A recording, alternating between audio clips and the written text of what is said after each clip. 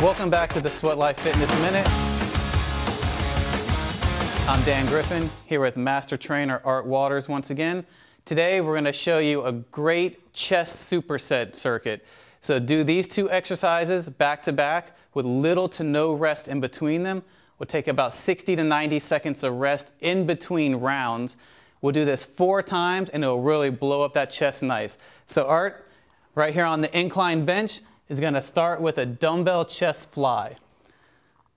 Grab a weight that you can do comfortably with good form, lowering it down slowly. Again, a good squeeze, a nice contraction at the top. A weight that you can do about 10 to 12 repetitions on. Good, breathe in, blow out. Go ahead and give me two more reps. So you'll get 10 to 12 of these. Good job, Art. Last one. Bring them down to your body, set them on the ground, stand up. Not much time, right on over here at the medicine ball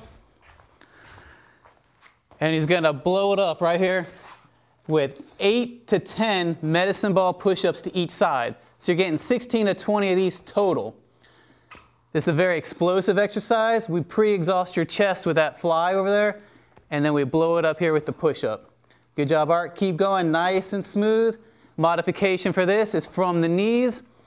And if you need to take the ball out, you can even do without a ball and just clap your hands or lift them off the ground. Beginners can start with just a regular push-up. All right, Art, one more. And up. Great. Good job, man. How's that feel? Pretty tough, man. Heart rate's up. Yeah, heart rate's up. Chest, shoulders are working. Tired, yes. So you'll take about 60 to 90 seconds of rest. You'll do that three to four times. This is Dan Griffin with your Sweat Life Fitness Minute.